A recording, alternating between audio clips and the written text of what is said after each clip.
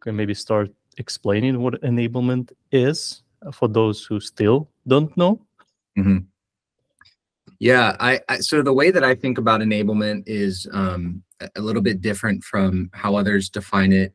You know, enablement was born, to your point, as a relatively nascent function. It was born from sales training, and it's grown to be to encompass much more. Um, just out of the necessity of there being all these new teams that touch the customer so there's this idea of a buyer journey that you know touches BDRs and account executives and sales engineers and customer success, account managers. The list goes on. Mm. And so for that reason, you've seen it rebranded to in just enablement, just revenue enablement, and aligning to that buyer journey. So the way that I define it with that in mind is the proactive identification of gaps in that buyer journey, um, and then working with leaders across all of those customer facing teams to shape priorities to solve those gaps. And there's kind of three main ways in which I believe that enablement should do that. Uh, there's optimizing process, which could be your sales process, could be your go to market process, the way you launch products. There's people, optimizing people. That's your classic uh, onboarding, continuous development, training comes into play there. And then there's optimizing tools, which is you know working with your ops counterparts to ensure you have the right tools implemented, that they're optimized properly to drive ROI, all of that. So those are kind of the general areas of enablement yeah. operated it, it, feels like a classic like uh, people process technology concept. Yeah. Yeah, but I, I I still believe you probably the the most interesting challenge or misconception is still people believe it's just a training. Like yeah. and I, I, and i and i felt it myself too because i, I was dealing a little bit about with with enablement in, in, in my life. And it always was like yeah yeah it's training training. Yeah. It, it feels like that. Is that is that what it is? How you fight that? I think um, it comes down to when you start in a new enablement role part of what's unique to the challenges of enablement is that because it's newer hmm you have to align on a definition.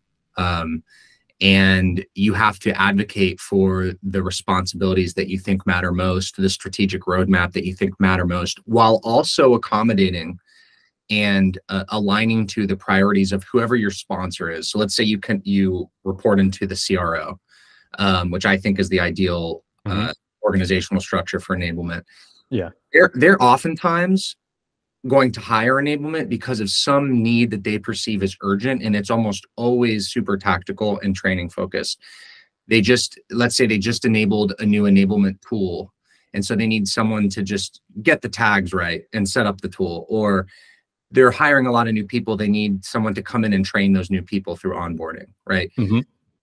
that's not always the best place to start when you're building a function from scratch in terms of scalability but you have to find a way to make quick quick impact crawl, walk, run, right? Get quick wins, gain that credibility while also building the roadmap that you know will work. And I have my own opinions on that. So to answer yeah. your question, to answer your question, how do you combat the idea of it just being training?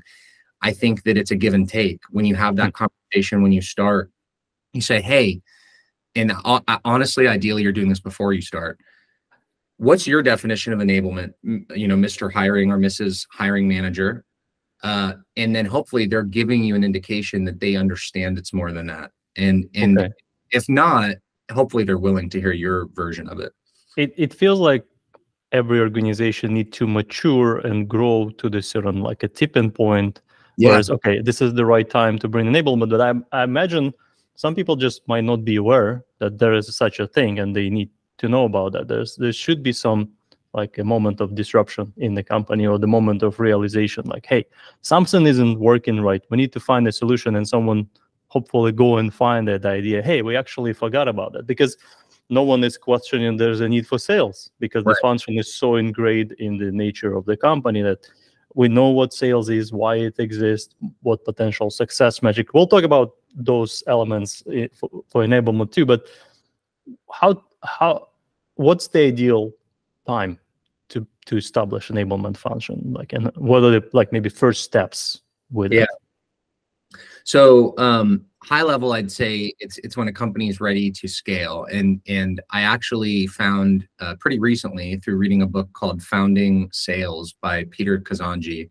mm-hmm. uh, i definitely recommend um, he has this rule where being ready for scale requires a, a 25% or higher win rate that is counterbalanced by a 25% or lower cost of sales.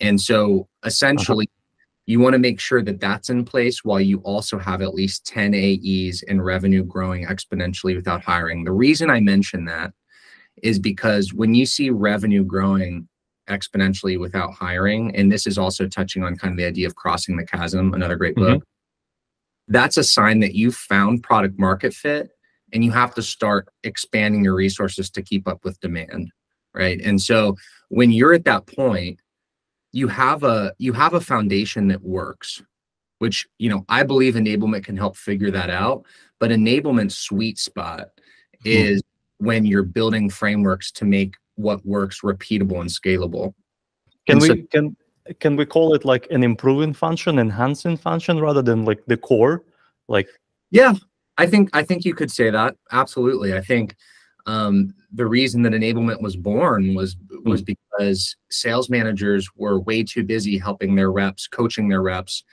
how to close deals, and then they moved on to the next deal and the next deal and the next deal and the next deal. There mm-hmm. wasn't mm-hmm. anyone who could focus on at least once the the leadership, the executive team got too busy to do this.